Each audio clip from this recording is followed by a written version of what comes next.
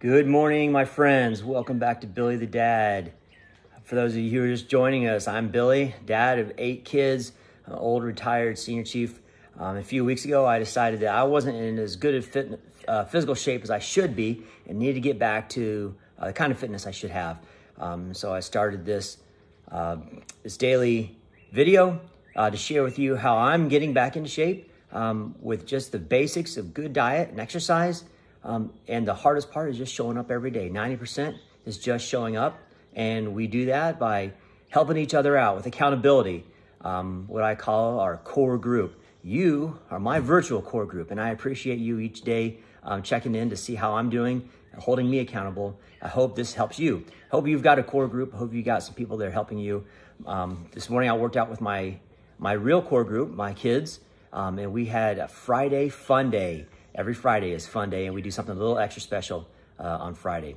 Yesterday's video is a little bit long. I shared with you something uh, kind of went a little, little deeper there, uh, four levels deep into uh, just an idea of just um, reaching out and connecting to other humans and, and how we do that and how we should be doing that in a positive way. Uh, so today we'll, we'll, get back to a little bit more practical. Uh, we're going to talk about next week. Next week, I, I, mentioned before, we're going to start with a seven-week training plan. This is the uh, SWAT selection training plan. I'm not trying out for a SWAT team or anything, but it's a good plan. Um, it's a good, uh, just a little less than two months of, of working out, um, and it's a full body workout. Uh, the plan comes from uh, Mountain Tactical Institute. Um, I'll, I'll put a, a little picture up there. I think it'll be up on that corner there. Um, I'll put that up there and, and, you can see the Mountain Tactical Institute. This particular plan is uh, $99. I purchased it a few years ago um, and, and, have used it um, a couple of times. I've gone all the way through the plan about three times now. Um, and each time I do, it gets me back into a, a higher level of fitness. So we're going to see where we can go. It's a uh, this is version one that I'm going to use. They actually have version two. If you go on, on online and purchase now, you'll be on version two. A little bit different. It's six days a week. Uh, the original version was five days a week, and then I throw onto that just a long run um, on Saturdays. I think they call for uh, a ruck march. Um, I'm not doing any rucking. Uh, I, I want to work on my running, so I'm a little bit more of a runner than a, a heavy lift guy. Um, so I'm going to do the uh, do just do a long run on Saturdays and continue the, what, what we've been doing already on Saturdays. Um, but five days a week. It's going to use more equipment. Um, if you've been following me for a while, you know the last uh, several weeks I did a six week um, training plan, a basic training plan using just body weight fitness. Um, the only really equipment was your running shoes and a pull up bar. Um, and uh, everything was uh, very, very minimal equipment. And that was designed to show you how much improvement you can make with the with the most basic, simple equipment. It, it doesn't require a big fancy gym. It doesn't require uh, an expensive coach. Uh, it requires showing up every day. Ninety percent is just showing up.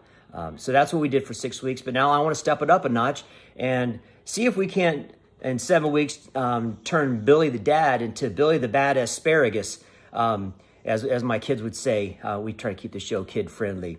Uh, so in seven weeks, we'll see how we do how how we can do. Uh, we'll be using a barbell and bumper plates, uh, uh the the rack behind us, uh, as well as some kettlebells, um, a heavy bag, an 80 pound bag, body armor or, or weight vest, and medicine balls. Uh, we'll be using uh, typical equipment you'd see like at a CrossFit gym. Uh, most gyms probably have the kettlebells and medicine balls as well. Um, if you have a home gym, I recommend outfitting it. I showed you a couple days ago, I showed you what I have in my home gym.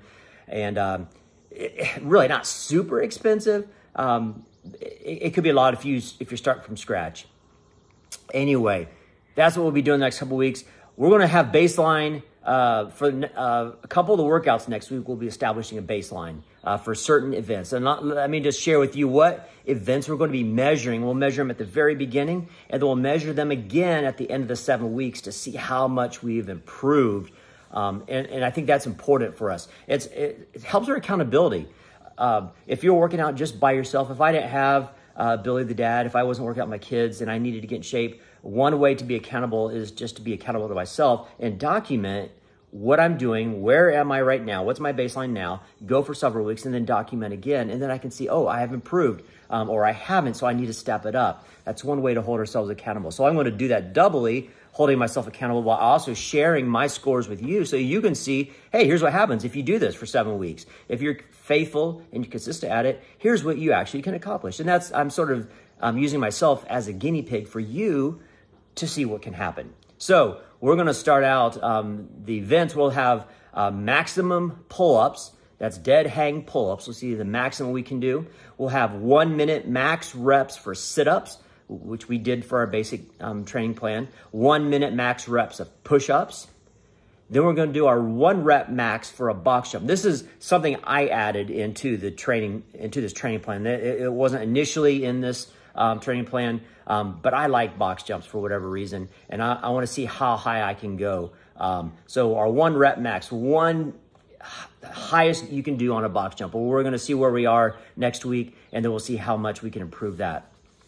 And then there's an exercise called the Devil Dog Assessment, um, which would be a shuttle run, carrying weights and stuff. That's a Marine Corps thing um, that they incorporated into, into this training plan. I'll, I'll demonstrate that for you next week so you see what that looks like.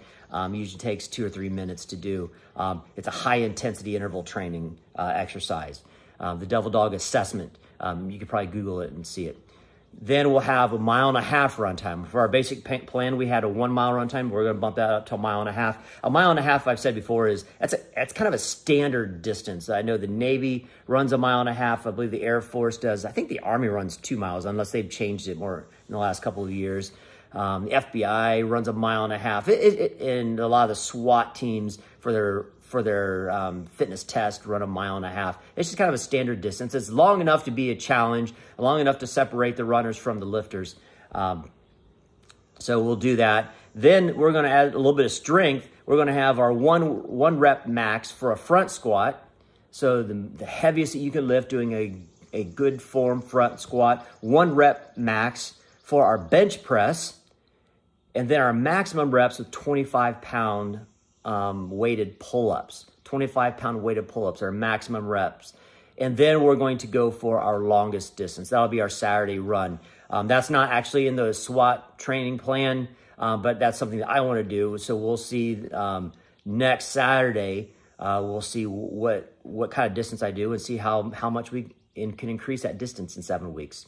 So that's it. Um, 14, just change my numbers it should be it should be 10, 10 different exercises, 10 different exercises that we're going to do. Um, we'll measure that and see our improvement seven weeks.